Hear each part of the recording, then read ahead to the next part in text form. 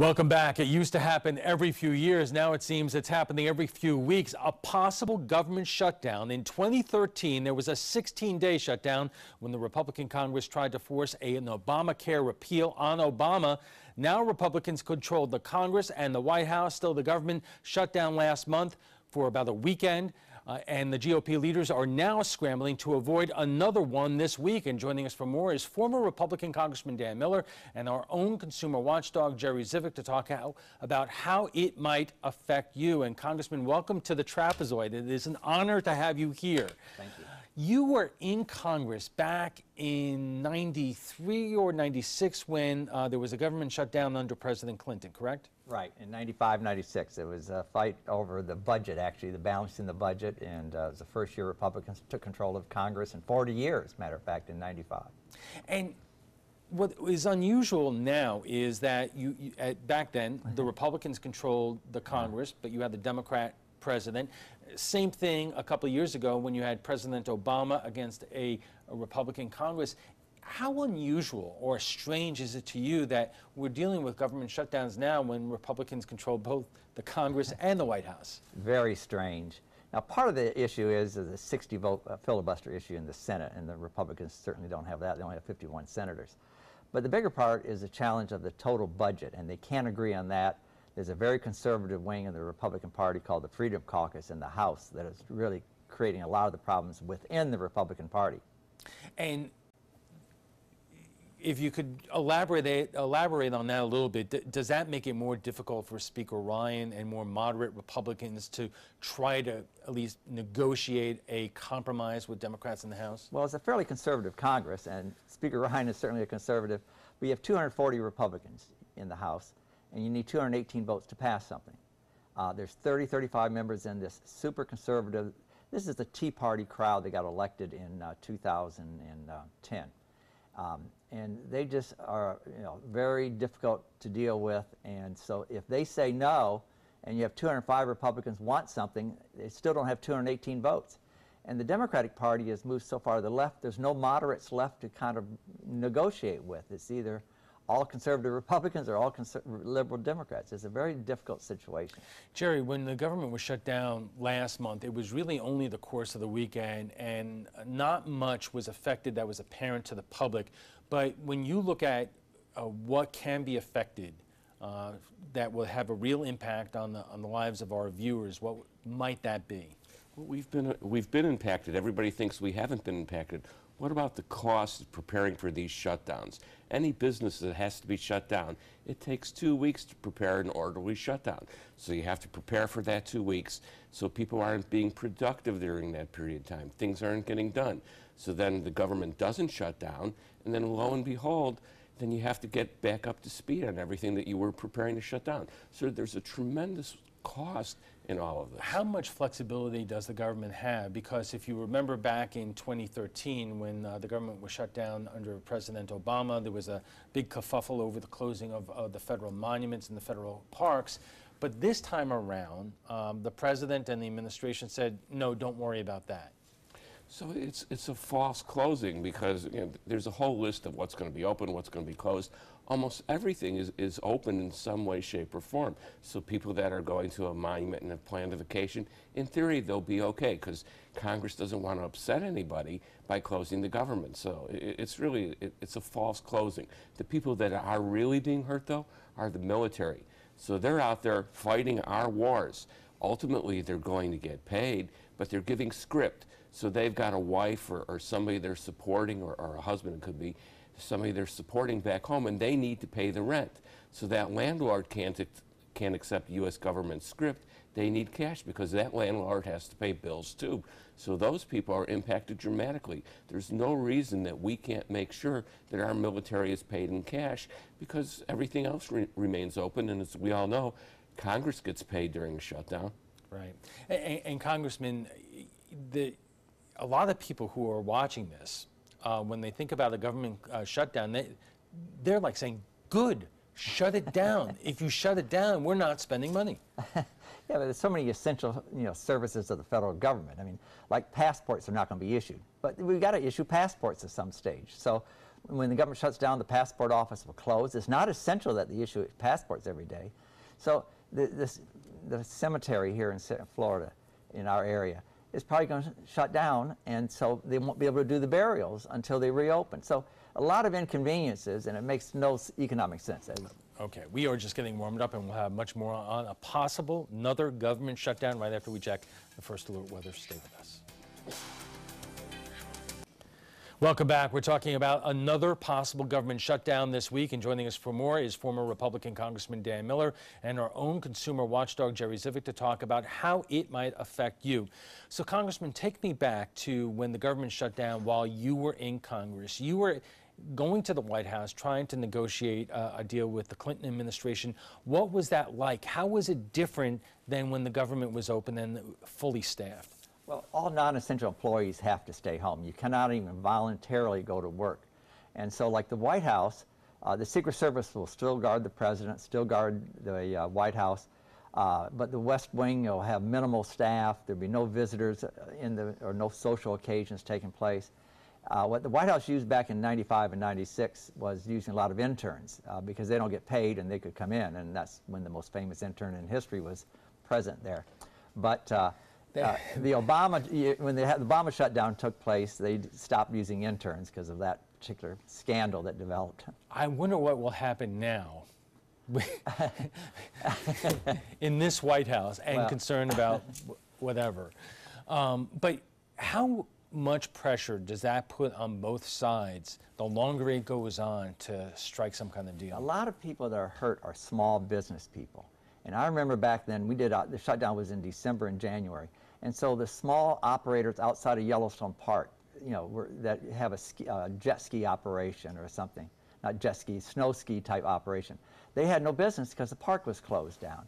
Uh, and then the people that do the janitorial service in an office building, they're not federal employees, they don't get a job and work. So a lot of small business people were hurt in, in, in addition to the symbolic closing of the Smithsonian Institution and such. So, Right. And, and Jerry, you know, we talked about uh, military pay, uh, we talked about uh, parks and, and so forth, but what else would be affected? And I- I'm thinking right now, are social security checks and government checks affected by this? Well, the government says no, but I think if it would actually go on for a long period of time, more than a few days, I think ultimately there's going to be a problem. Who's going to make all of these new calculations for anybody that's new on the rolls, or if anybody has a change in the process? But look at Social Security.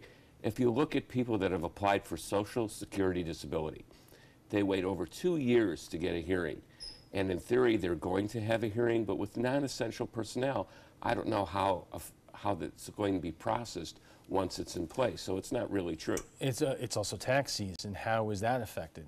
Well, I think we can all agree the IRS can shut down for a while, but no, I don't think anybody would complain. But if the IRS doesn't even offer a place to call to get to get But I, I mean, if you're anymore. filing your returns and expecting a refund on, on a fairly short order, well, then it's not going to happen. It, it's going to just sit there and not be processed. right? And, and, and Congressman, I, I guess, um, you know, you explained the dynamics of how Congress is different now than it used to be.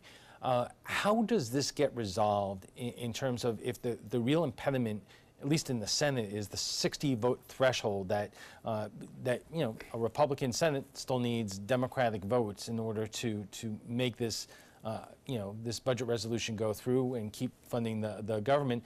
If you don't reach some kind of accord in the middle on, on DACA or whatever the other issues are. I, I think we're going to see the, the filibuster go away for appropriation. This is an appropriation bill issue. And there's also the challenge later on this month of the debt ceiling increase, too. So uh, they've already done away with the filibuster for uh, government appointees, presidential appointees, and federal judges. That's been taken care of. So the next step is for these must-pass legislation. There's only very little that must pass every year in Congress. Appropriation bills must pass. And so I think they'll do away with the filibuster on that. And they may do away with it here in the next month or so. Are, do you, is that a good thing? I think for essential um, uh, pass legisla- legislation, I think it is. Yeah, I think um, the, the challenge we have now there are no moderates left in Congress. We have a very conservative Republican Party and a very liberal Democratic Party, and there's nobody in the middle. When I was there in the 90s, there was a large group of moderates. There were Blue Dog Democrats, and they called it the Tuesday Lunch Bunch Republicans that were moderate. And these were Republicans from Connecticut and Massachusetts and New York, and, uh, and then you had the Southern Conservative Democrats still there. They're all gone. They all got wiped out in these wave elections, and so now you just have a real conservative party and a real liberal party, and then it's the extremes of both party driving the, the agenda. On the Democratic side, the people most upset with uh, reopening the government were the most liberal senators who are running for president. There's five senators thinking about a presidential run on the Democratic side. So they're pushing it to the left, our side's pushing it to the right, and we got a problem. And, and Jerry, me, and meanwhile, when we're talking about the public, you, you have, as I mentioned, a lot of people who might be watching this right now saying, keep it closed. On the other hand, you have a lot of people who have, whether it's uh, you have a loved one who may have to be buried at, at a national cemetery, or people concerned about their social security checks or their passports who are looking at this and just saying, um, I mean, this isn't right. Well, I, I don't want to talk politics, but our society has lost the ability to agree to disagree. You know, we've lost the ability to find compromise. And I think it's going to be a tragedy if we do away with the filibuster because that protects the minorities in a situation like that. But it's not, it's the veterans too. What about these veterans hospitals? At some point, even though they're pre-funded with with money, they're going to run out of money and they're not going to be able to take care of our veterans in the hospital. This is just a terrible situation. What about the CDC? We have this rampant flu going around, and there, will be nobody really to, to really take care of, of people and monitor what's going on or, and look for health solutions. Or or the opioid crisis. What's going to happen with that? I mean, we have a, people that are dependent upon our government, and for them to even think about closing, it, it's just terrible. In fact, Congressman, I was reading in terms of the CDC's budget. You know, we have teams in a lot of countries around the world that are monitoring the outbreaks of disease that could theoretically affect us here at home. Those teams are not going to be uh, funded. They're going to be withdrawn from those uh, countries. And you, you, you might want to say, well, what, what's the CDC doing overseas anyway in places like Africa or, or elsewhere? But they have a, a real impact in terms of stopping diseases from spreading to here. Right, right. They, I don't think they'd be withdrawn. They just wouldn't be able to go to work, is what they're going to be told to do. They'll just say, just stay in the hotel or stay in your apartment or something until we reopen the government. So every agency of the government gets to set their own rules of who is essential and who is not essential. And so uh, the CDC, because of the flu outbreak, may declare a larger number of people essential. We'll you know see. But When you were in Congress, uh, did membership on your side and membership on the other side uh, fully appreciate the, the impact that the closing of the government was going to have on the lives and, and, the, and the futures of, of Americans?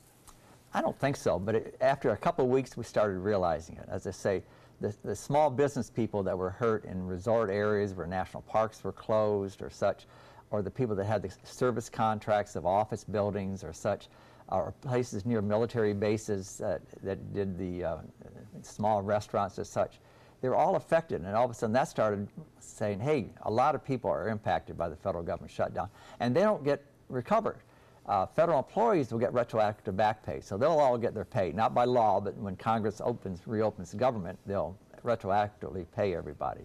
But that doesn't pay that little restaurant that lost all the business. Now, they said that last month when the government was shut down that the Democrats caved fairly quickly. They didn't have the stomach for it. But usually, how are these shutdowns resolved? What is going on in leadership that, that, they, that uh, results in, in them saying, okay, now it's time to, to reach out and maybe do things that, you know, otherwise you wouldn't want to do? Sometimes it's poll driven. If they, I think the Democrats realized they were getting blamed for this last shutdown, and so they needed to have some face-saving measure, and that's when they got an agreement to bring up DACA. DACA is not going to be the big issue this time. The big fight right now is an increase in the defense appropriations that are that Republicans want and Democrats are supportive of to a big increase in defense. But what the Democrats want is an equal increase in non-defense discretionary spending. That's where the fight is over. And it's going to blow the budget. The headline today on Politico is House GOP scrambles to avoid shutdown. Republican leaders face arrest of rank and file, uh, you know, members of Congress before the funding deadline. Right. A lot of it is, is the defense hawks on the Republican side. They've been promised they're going to have a significant increase in defense spending, and they can't keep waiting. They say we need this additional money. You know, General Mattis, the Secretary of Defense, says you know we need this money, and you know by just having continuing resolutions, the additional defense money is not coming. So. Okay, we have to take a quick break and we'll be back for final thoughts in a moment. And our guests join us right now for final thoughts. So, Jerry, if you were to tell our viewers what they might see if the government shuts down once again this week, what would that be? I think they, they would see, as the congressman, former congressman points out, businesses will be impacted. Their vendors, people that they deal with on a daily basis, they're going to be impacted. So the price of their goods actually might go up because that vendor or that seller needs, needs to stay in business. So as a consumer, we're at risk to possibly have our prices go up. I, I don't think our police will be impacted. I think we have a tremendous risk in terms of uh, this opioid crisis. I don't think there'll, there'll be help for people, which can increase crime. I think the CDC is impacted. I think ultimately, if it goes more than two weeks, your Social Security disability check will be impacted. Not your disability check, your retirement check will be impacted. I think veterans, their health care will be impacted. And there's a high cost for all of us to have nothing be done and yet pay for it. Congressman, would you predict that um, they're going to find some way to avoid this over the next couple of days? I think they were, everybody was embarrassed the way the last one lasted. It only lasted, of course, three days. And so I think there's agreement to try to get something worked out. They're probably going to, unfortunately, do like a one-month CR, continuing resolution until later on in March. And then they'll have, you know, the crisis again. But I think there's an agreement. The big fight is over more discretionary spending. It's not the DACA issue. Well, let me ask you this question. You know, I, I'm old enough to remember the day that once, uh, you know, a, a cycle, the president delivered a budget of the United States, and it would go to Congress, and you would have something called hearings on it and appropriation bills. Uh, how did we get so far away from that? the whole budget process has fallen apart in, in Washington, and they haven't been able to do a budget for years. Uh, I served on the Appropriations Committee and the Budget Committee, so I, I was close to it. And, and Appropriations does oversight work, and they're not doing the oversight work because they can't even agree on numbers. And so um, the problem is getting, getting a, a basic agreement on numbers, and it's unfortunate with one party in total control, they can't even govern. Okay, we'll have to leave it there, gentlemen. Thank you very much. Before we go, we want to share with you what some of you had to say about Friday's show on the week in Washington. President Trump gave the order to release the now declassified memo written by Republicans on the House Intelligence Committee. The president claims there is evidence the Department of Justice and the FBI relied on politically biased sources to obtain court orders to do surveillance on Trump campaign staffers. We went to Facebook to hear what you thought. Sam says, sounds like it's time for a special prosecutor to investigate and prosecute corruption in both the FBI and the DOJ. Kevin says, from the party who claims to honor and stand up for law enforcement to jumping off the deep end for Trump so he doesn't get sent to prison.